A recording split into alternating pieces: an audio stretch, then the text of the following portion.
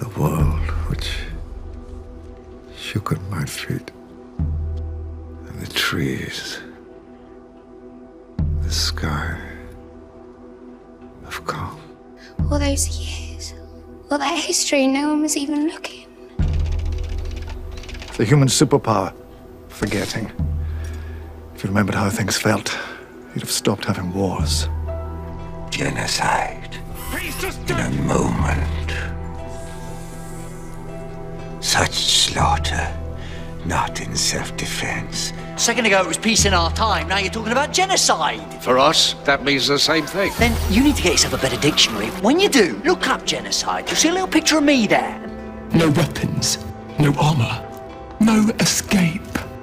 Just the desperate hope you might change my mind. Why have I ever let you live? Compassion, Doctor. It has always been your greatest indulgence. Do you have it in you to murder me? It's you, me, and the end of the universe.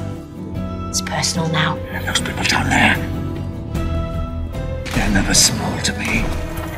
Don't make assumptions about how far I will go to protect them because I've already come a very long way. I know what you deserve. The fury of the Time Lord. You wear it like a hero, even though you're killing and scapegoating and stirring up hate. A logical house. A construction that makes no sense. So many backs. With a single knife. Playing with so many people's lives, you might as well be a god. And you wonder why the darkness comes back at you. And when people come to you and ask if trying to get to meet with the people I love is in any way a good idea. Human progress isn't measured by industry. It's measured by the value you place on a life.